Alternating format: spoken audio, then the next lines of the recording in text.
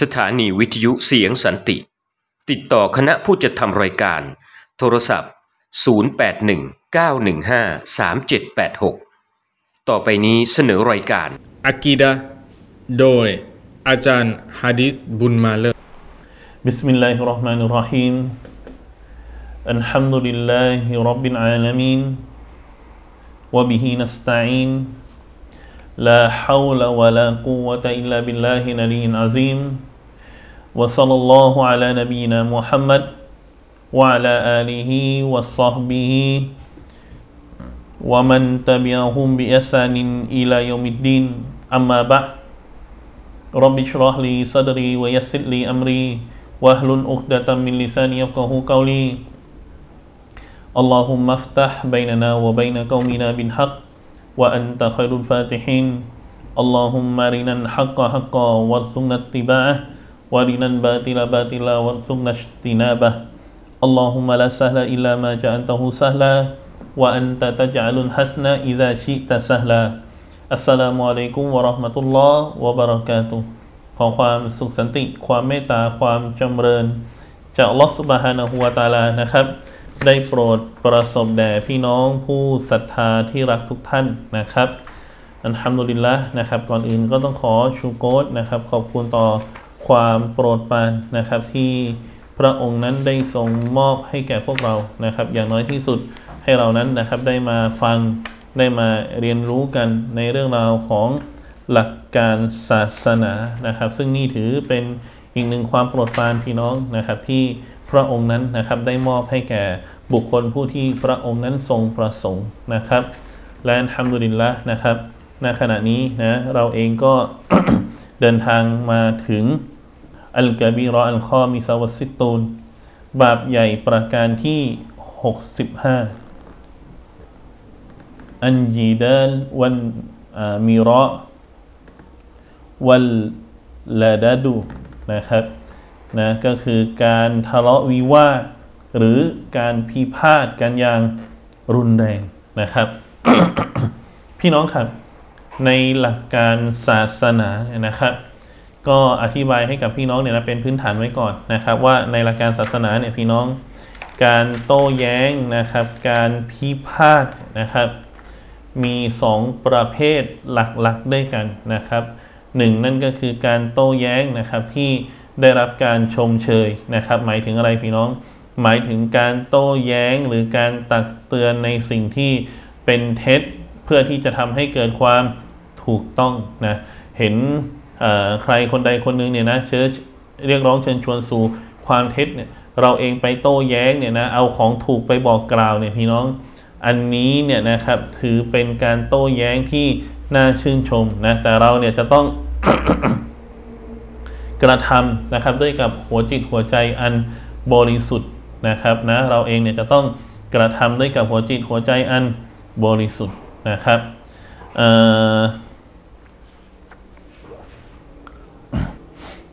อัลลอฮฺสุบฮานะฮูวาตาลาเนี่ยนะได้ตรัสเอาไว้เนี่ยนะครับถึงการโต้แย้งประเภทนี้เนี่ยบอกว่ายังไงอุดอูอิลาซาบีลีรับบิกะบิลฮิกมะจงเรียกร้องสู่แนวทางแห่งพระเจ้าของเจ้า ด้วยความ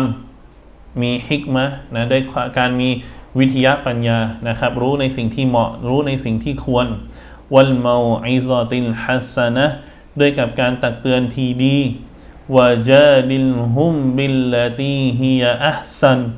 และจงโต้แย้งกับพวกเขาด้วยสิ่งที่ดีกว่า إن ربك هو أعلم بمن ضل عن سبيله แท้จริงอัลลอฮฺ سبحانه وتعالى พระองค์ ทรงรู้ดีนะถึงผู้ที่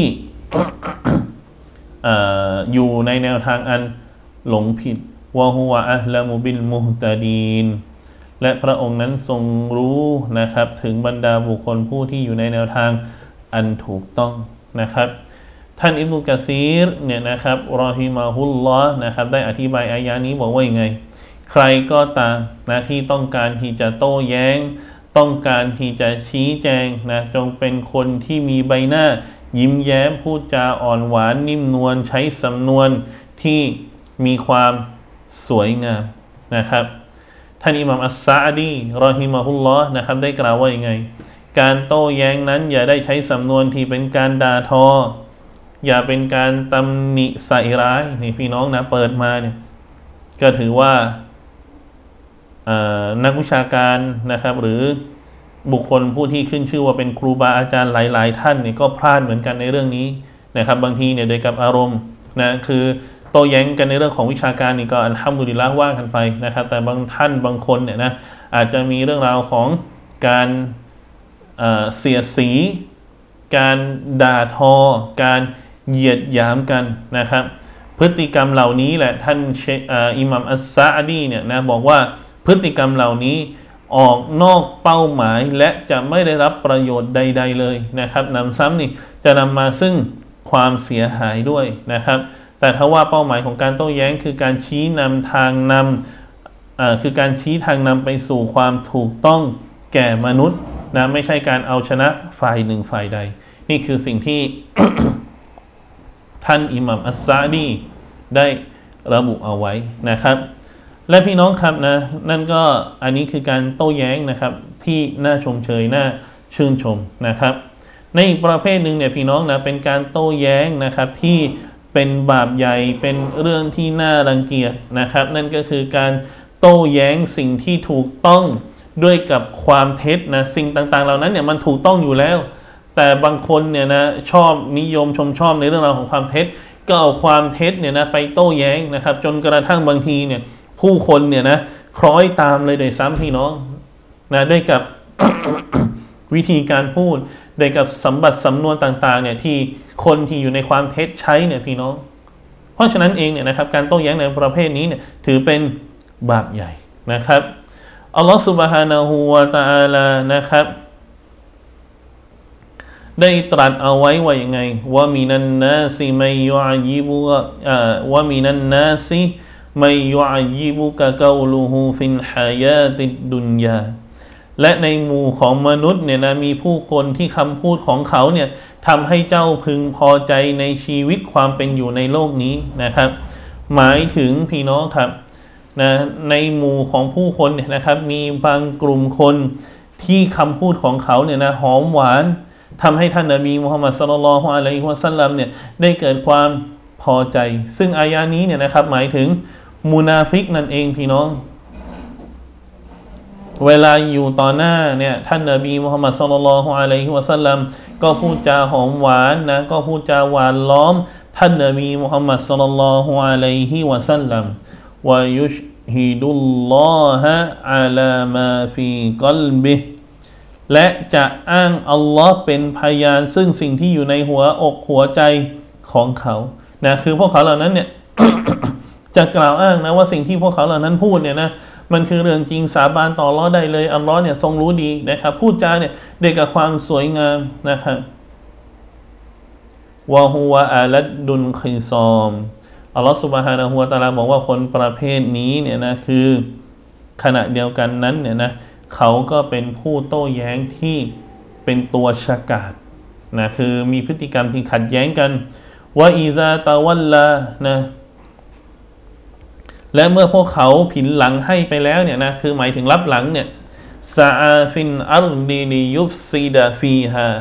เขาก็เพียรพยายามในแผ่นดินเพื่อที่จะทำให้เกิดความเสียหายในหน้าแผ่นดินويهلك الحرث والنسل และทำลายพืชผลนะ الحرث เนี่ยคือพืชผล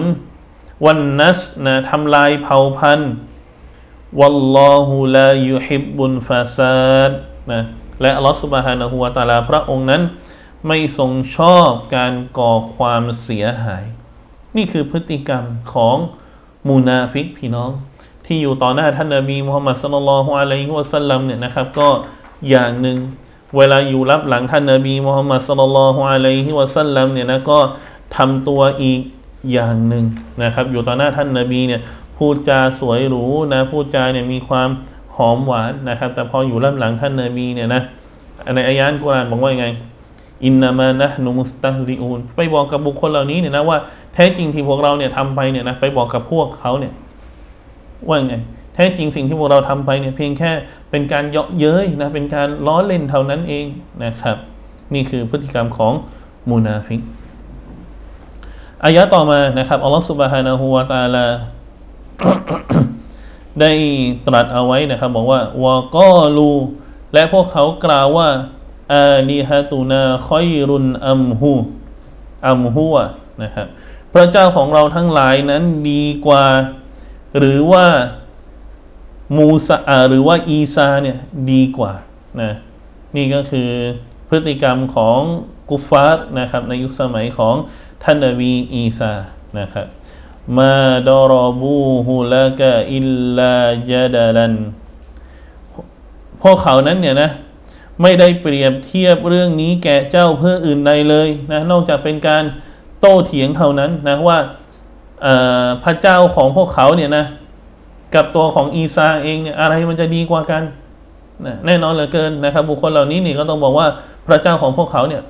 ดีกว่าอยู่แล้วนะครับอัลลอฮฺสุบฮานะฮูวาตาลาบอกว่าการเปรียบเทียบเรื่องนี้เนี่ยนะไม่ได้ก่อให้เกิดประโยชน์ใดเลยนะนอกจากเป็นการโต้เถียงที่เลื่อนลอยบัลฮุมเกามุลคอซีมูนนอกจากนั้นพวกเขายังเป็นกลุ่มชนที่ชอบหลงไหลในการโต้เถียงอีกด้วยนะครับอายะต่อมานะครับอัลลอฮฺสุบฮานะฮูวาตาลานั้นได้ตรัสเอาไว้นะครับบอกว่าอินนัลลาดีนยุจาดิลูนฟีอายาติลลาฮิบิไกริซุนตอนิน อาตาฮุมอินฟีซูดูริฮิมอิลลากิบรุนมาฮุมบิบาลีนะอัลลอฮ์บอกว่ายังไงนะครับ แท้จริงบรรดาบุคคลผู้ที่โต้แย้ง โต้เถียงในเรื่องของอันกุรอานนะครับบีกอยลิซุนตอนิน โดยปราศจากหลักฐาน อาตาหุ่มที่มายังพวกเขา อินฟีซูดูดีฮิมนะไม่มีอะไรเลยนะในหัวอกในจิตใจของพวกเขาเนี่ยอิลลากิบรุนนะนอกเหนือจาก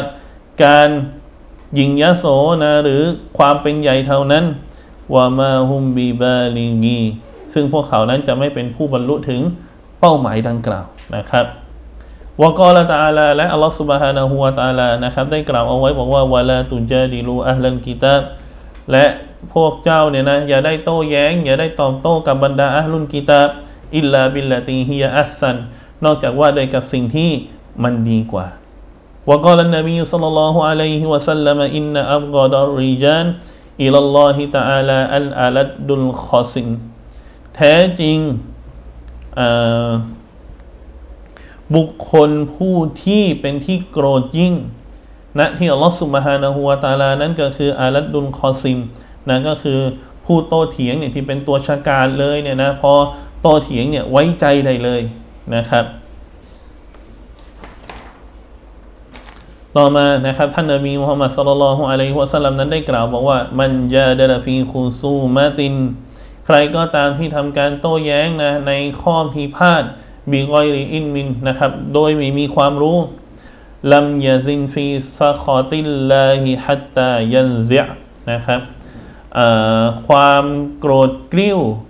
ของอัลลอฮฺ سبحانه وتعالى เนี่ยก็จะยังคงอยู่กับเขาจนกระทั่งเขานั้นได้ถอนตัวนะคือใครก็ตามเนี่ยพี่น้องนะที่มาโต้แย้งนะครับ โดยปราศจากข้อมูล โดยปราศจากซึ่งความรู้เนี่ยอัลลอฮ์กริ้วนะและตราบใดก็ตามที่คนคนนั้นเนี่ยมันยังโต้แย้งอยู่เนี่ยพี่น้องความกริ้วของอัลลอฮ์เนี่ยก็ยังคงอยู่ จนกระทั่งเขานั้นเนี่ยถอนตัวจากพฤติกรรมดังกล่าวนะครับ ท่านนบีมุฮัมมัดสุลลัลฮุอะลัยฮิวะสัลลัมนั้นได้กล่าวเอาไว้นะครับ บอกว่ามาดอลละกามุนบาดาฮูดาไม่มีกลุ่มชนใดที่หลงผิดหลังจากที่ทางนำเนี่ยปรากฏแล้วกานูอะไรฮีซึ่งพวกเขาเหล่านั้นเนี่ยก็อยู่บนทางนำอิลลาอูตุลยัดนะนอกจากว่าจะเป็นพวกที่ชอบโต้เถียงนะครับ หมายถึง ใครที่ทางนำมาแล้วเนี่ยนะแต่ไปโต้แย้งทางนำไปโต้แย้งหลักการ ไปโต้แย้งอันกุรานแย้งสุนนะของท่านนบีมุฮัมมัดสุลลัลฮวาอะลัยฮิวะสัลลัมเนี่ยนะครับ บุคคลดังกล่าวนี้เนี่ยนะเป็นบุคคลผู้ที่หลงทางนั่นเองนะครับ ต่อมานะครับอันนี้นบีสุลต่านลฮ์อะลัยฮิวะสัลลัมมีรายงานจากท่านนบีนะบอกว่าอินนะอัควาฟามาอัคอฟูอาลาอุมมตี แท้จริงสิ่งหนึ่งที่ฉันกลัวว่าจะประสบแก่อุมมะประชาชาติของฉันเนี่ยมากที่สุดเนี่ยนะอ่อนั่นก็คืออะไรพี่น้องหนึ่งในนั้นเนี่ยนะครับ นั่นก็คือوجدال المنافق بالقرآن นะครับ وجدال المنافق بالقرآن นั่นก็คือการโต้แย้งของพวกมุนาฟิกที่มีต่ออัลกุรอานนั่นเองนะครับ เพราะฉะนั้นเองเนี่ยพี่น้องนะเรื่องการดีเบตเนี่ยนะครับหลักการศาสนาเนี่ยไม่ได้สนับสนุนนะครับการดีเบตกันเนี่ยนะหลักการศาสนาไม่ได้สนับสนุน เพราะไม่ได้หมายความว่าบุคคลผู้ที่ดำรงมั่นอยู่บนสัจธรรมเนี่ยพี่น้องจะดีเบตชนะเสมอไปนะแล้วก็ไม่ได้หมายความว่าบุคคลผู้ที่อยู่บนความเท็จเนี่ยจะดีเบตแพ้เสมอไปพี่น้อง เพราะถ้าหากคนที่อยู่บนความเท็จเนี่ยนะพี่น้องเป็นคนที่พูดจาฉะฉาน เป็นคนที่พูดจาเก่ง นะทำให้คนอื่นคล้อยตามได้เนี่ย ชาวบ้านตาสีตาสาเนี่ยก็เข้าใจว่าคนคนนี้เนี่ยเป็นผู้ชนะนะและยิ่งเอ่อเป็นบุคคลบุคคลผู้ที่ถือสัจธรรมอยู่เนี่ยพี่น้อง แต่เป็นคนที่พูดจาไม่เก่งนะไม่สามารถที่พูดจาหวานล้อมให้กับใครได้เชื่อได้เนี่ยนะครับ ต่อให้เขาโต้แย้งไปเท่าไหร่เนี่ยพี่น้องมันก็จะนำมาซึ่งความเสียหายนะครับ เพราะฉะนั้นเนี่ยนะหลักการของอิสลามเนี่ยพี่น้องนะ ไม่ได้สนับสนุนไม่ได้ส่งเสริมเลยนะครับในเรื่องราวของการดีเบตนั่นเองนะครับ เพราะแม้กระทั่งเนี่ยนะมุนาฟิกเองเนี่ยพี่น้องนะก็ยังทำการโต้แย้งในอัลกุรอานนะครับ และก็ทำให้ผู้คนเนี่ยนะได้เกิดการยอมรับได้เช่นเดียวกันนะครับ เพราะฉะนั้นนะครับทั้งหมดทั้งมวลเหล่านี้ก็ฝากพี่น้องเอาไว้นะครับ ให้เรานั้นได้ตระหนักนะครับถึง การระมัดระวังการโต้เถียง โดยเฉพาะอย่างยิ่งการโต้เถียงการโต้แย้งกับหลักการของอัลลอฮฺ سبحانه وتعالى นั่นเองนะครับ وبالله التوفيق والهداية السلام عليكم ورحمة الله وبركاته ผลิตรายการโดยสถานีวิทยุเสียงอิสลาม เสียงสันติคลื่นความรู้สู่ผู้ศรัทธา รับชมรายการย้อนหลังใน YouTube ค้นหาชื่อมุสลิมออนแอร์ขอเชิญร่วมบริจาคผ่านธนาคารอิสลาม เลขที่บัญชี 034-1147-796 ชื่อบัญชี มูลนิธิอันซอรเพื่อวิทยุเสียงสันติ ขอขอบคุณยอดบริจาค สนับสนุนการทำงานของสถานีวิทยุเสียงอิสลาม ขออัลลอฮ์ทรงตอบแทนคุณงามความดีของพี่น้องอย่างครบถ้วน อามีน